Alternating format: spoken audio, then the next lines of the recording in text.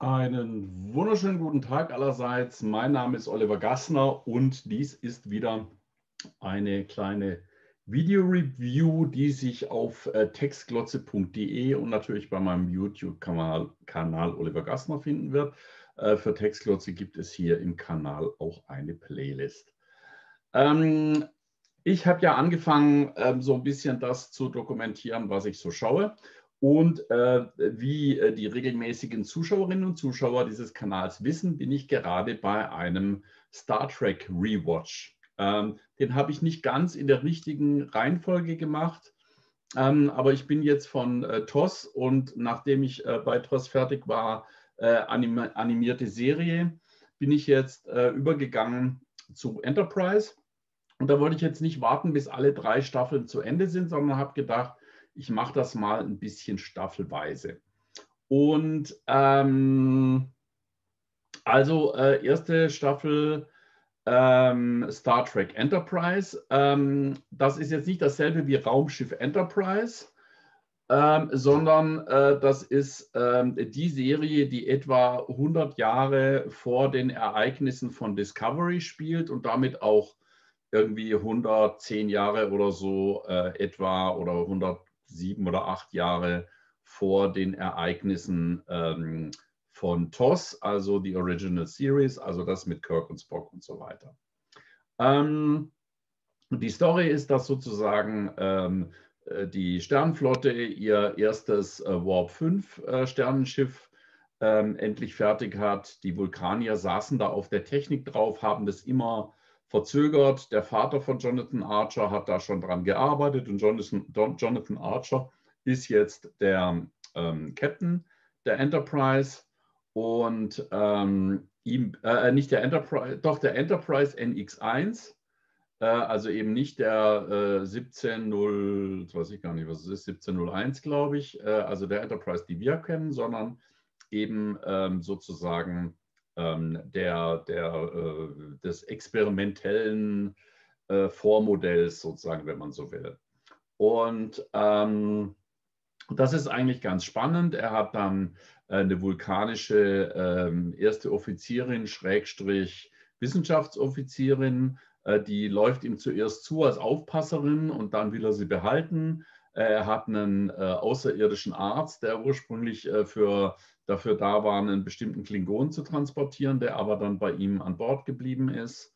Ähm, sonst haben wir, glaube ich, keine weiteren Aliens an Bord. Nee, wir haben Mayweather, das ist ein sogenannter Boomer, also jemand, der, also nicht das, was man heute Boomer nennt, sondern das, was man damals Boomer nannte oder was man in der Zukunft Boomer nennen wird, nämlich Leute, die ähm, auf Frachtschiffen sehr, sehr langsam sozusagen äh, mit irgendwie zweifacher oder ja, Lichtgeschwindigkeit nur die, äh, die Weiten des Alls durchqueren und so weiter und so fort. Er hat einen Waffenoffizier und einen Sicherheitsoffizier und er hat Hoshi, eine Übersetzerin. Und ähm, das Ganze ist eigentlich ganz spannend gemacht, weil sozusagen die Sternflotte hier erst ihre Werte finden muss. Also es gibt noch nicht die Prime Directive, dass man sich eben nicht in Non-Warp-Kulturen einmischen darf. Ähm, er kommt gelegentlich in die Situation, wo er eben in planetare Konflikte eingreifen muss. Ähm, es gibt ähm, hier im Gegensatz zu den vorhergehenden Serien ähm, oder beziehungsweise auch ein bisschen in Anlehnung an die animierte Serie, es gibt so ein bisschen was wie ein Arc, also das heißt, äh, es gibt äh, so Plotlinien, die sich äh, in Ansätzen durchziehen, nämlich der Konflikt mit den Suliban auf der einen Seite, wo immer wieder ähnliche Figuren auftreten, nämlich zum Beispiel Silik. Äh, es gibt äh, Konflikt, Konflikte mit den Andorianern, wo übrigens der Mensch, der äh, vorher auch ähm, den, ähm, jetzt weiß ich gerade nicht mehr, wie die Figur heißt, aber bei, ähm, bei Deep Space Nine äh, hat er diesen, ähm, diesen, diesen Verbindungsoffizier sozusagen äh, zu den, zu den Göttern da, zu den, nach Gott, ja, siehst du, man sollte sowas vorbereiten. Ähm, zu den äh, Formwandlern gespielt und so weiter und so fort. Äh, also der kommt wieder vor ähm, und äh, in einer Folge darf sogar äh, René Aubergenois äh, mitspielen und spielt da ganz anders als, äh, als sonst. der spielt eben bei Deep Space Nine den Odo.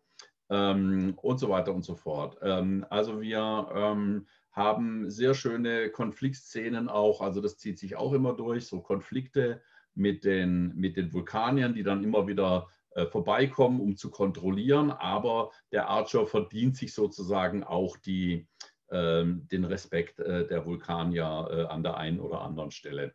Und ähm, es ist auch sehr schön zu sehen, ähm, äh, wie, wie äh, die Vulkanierin sich da entwickelt, die eben vorher die Menschen alle irgendwie doof findet und sehr emotional findet, aber dann doch so gewisse ähm, äh, Kontakte zu ihren eigenen Emotionen findet auf der einen Seite. Wir sehen da auch das erste Mal einen vulkanischen Mindmeld äh, und natürlich den vulkanischen Neckpinch, aber der Mindmeld gilt eigentlich so als nicht, ähm, wie soll man sagen, als, als nicht Standardpraxis an der Stelle, aber 100 Jahre später dann offenbar schon. Da ist er wohl in die, in die Mainstream-Kultur eingewandert und das ist aber dort sozusagen ein, äh, wie soll man sagen, eine, äh, eine Praxis von Vulkaniern, die eben versuchen, ihre Gefühle zu erforschen. Macht ja auch irgendwie Sinn, äh, dann erst eine Gedankenverschmelzung zu machen. Ähm, es gibt sehr, sehr schöne Szenen, ähm, wie Paul sozusagen ähm, also es heißt ja ursprünglich, Vulkanier äh, können, würden nicht lügen. Das ist natürlich dann was, wo Spock auch mal an einer Stelle sagt, ja, wir, wir lassen es die Leute glauben, dass wir nicht lügen können, aber in Wirklichkeit äh, können wir das schon. Und es gibt ein paar Stellen, wo äh, Topol natürlich dieses, ähm, dieses Vorurteil ausnutzt äh, und äh, schon so ein bisschen schummelt und ein bisschen die Dinge anpasst. Aber es gibt auch wirklich Fälle, wo De Paul wirklich, wenn man so will, äh, Witze macht ja, und äh, ähm, so einen Joke macht oder ähm, einmal zum Beispiel soll sie das Schiff verlassen, dann simuliert man, äh, beziehungsweise sie hat dann aber auch einen Unfall, beziehungsweise schmeißt sich in einen, in einen, in einen Phaserstrom und wird verletzt. Und dann äh, sagt der Arzt eben, sie muss jetzt noch ruhen. Und dann äh, sagt, äh, sagt sie, ja, aber ich muss doch auf, auf zu den Vulkaniern. Und dann sagt äh, der Archer, ja, willst du da nicht hingehen? Und dann sagt sie, naja, aber der Arzt hat mir Bettruhe verordnet, ich kann ja nicht. Äh, und so auf die Art, also äh, sie, sie macht da sehr, sehr subtile, sehr, sehr subtile Witze. Ähm, eine andere spannende Figur ist natürlich grundsätzlich Archer, der jetzt nicht wie Kirk immer die sogenannte Kirk-Speech hält und da die Werte der Föderation hochhält, sondern an einer Stelle bekommt er mal den Tipp vom, ich glaube, vom Schiffarzt, denke wie ein Klingone, ja, du musst wie ein Klingone denken, um die Klingonen zu überlisten oder äh, dann irgendwie die, ich glaube, es ist vom Schiffarzt, von wem auch immer kriegt er diesen Tipp und dann, ähm, das ist dann aber auch was, was er immer wieder anwendet, das heißt, man könnte sagen, er assimiliert sich in die Kulturen, äh, mit denen sie da zu tun haben und äh, macht sich deren Denken zu eigen und benutzt das Denken dieser Kultur, um äh, das Ziel zu erreichen, was er äh, erreichen will. Man könnte das jetzt äh, man könnte das jetzt koloniale äh, Aneignung oder sowas nennen, aber ich glaube, das passt nicht ganz, sondern es geht halt wirklich darum, dass er versucht zu verstehen, wie die anderen denken und dann auf die Art äh, entsprechend ähm, äh, zu agieren, sodass das rauskommt, was für alle am besten ist.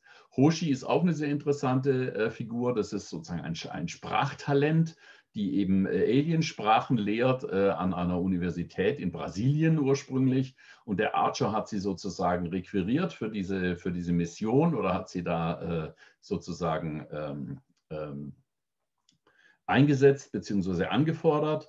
Und am Anfang ist ihr sehr, sehr unwohl. Äh, sie hat große Angst davor, irgendwie im Weltraum zu sein und mit diesen Aliens zusammen zu sein und so weiter und so fort. Und sie macht sich dann auch äh, aber äh, sehr stark und wird äh, eine richtig mutige Frau bis zu einer Folge, wo sie endlich mal auf Reiser landen und alle irgendwie, der Archer will sich entspannen und äh, der Waffenoffizier und der Sicherheitsoffizier, äh, die wollen halt Spaß mit weiblichen Wesen haben dort. Und sie will eigentlich nur äh, die, die risanische Sprache lernen, aber sie ist dann die, die dann da eine Liebesaffäre hat und alle anderen, äh, äh, bei denen geht es irgendwie schief und äh, sie äh, kommen in Konflikt mit irgendwelchen Menschen, die sie da über den Tisch ziehen, wenn man so will. Ähm, und äh, und äh, das ist also eine sehr schöne Figur, die dann auch an einer Stelle ähm, von, von Topol angeboten kriegt, dass sie ihr zeigt, wie man mit Meditation Angst besiegen kann. Und das ist ein bisschen schade, äh, dass, dass das dann nicht äh, weitergezogen wird, also dass da der Arc äh, erstmal zumindest nicht weiter ähm, ähm, dass, dass das eben nicht integriert wird in die zukünftigen Bücher. Und es gibt auch ein paar andere sehr intensive Szenen, also zum Beispiel eben zwischen dem Waffenoffizier und dem Sicherheitsoffizier, die also beide die denken, dass sie jetzt erfrieren und ersticken äh, und äh, sich da sehr nahe kommen oder auch zwischen dem, jetzt muss ich gerade mal überlegen, zwischen dem Chefsingenieur, also gleich Waffenoffizier, äh, Chefingenieur und, äh, nee, nicht Waffenoffizier, äh, nee, äh, Waffen- und Sicherheitsoffizier und Chefingenieur, so. Und der Chefingenieur, der hat auch mal so Szenen, wo er sozusagen etwas privater mit, mit Paul zu tun hat, also nicht in romantischer Art und Weise, aber äh, in privater Art und Weise und das wird auch nicht weitergezogen. Oder ähm, es gibt ähm, äh, ja, es gibt einfach bestimmte Szenen, wo sich das Verhältnis von zwei Figuren sehr stark verändert, aber äh, das führt dann nicht wirklich dazu, äh, dass sich diese Figur dann in der Folge verändert. Also es sind so angedeutete Charakterentwicklungen, sogenannte Arcs, aber es ist, ähm, es ist nicht wirklich in den Büchern äh, so ganz stark ähm, äh, realisiert. Aber äh, grundsätzlich finde ich das eine sehr schön zu sehende äh, Serie, vor allem natürlich auch wegen dem, dem Alien-Arzt ähm, äh, Billings, also Billingsley heißt er mit Nachnamen, ich glaube Robert, aber ich kann mich täuschen.